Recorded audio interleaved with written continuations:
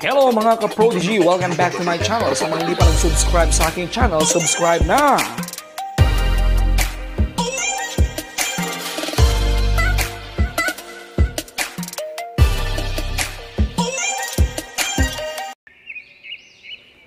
Isang nakakabilib na talento ang naipamalas ng isang guro sa gitna ng ECQ upang basagin ang pagkakapagot habang umiiral ang ECQ.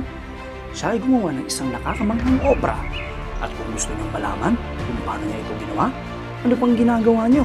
Tara, halina't panoorin natin ito.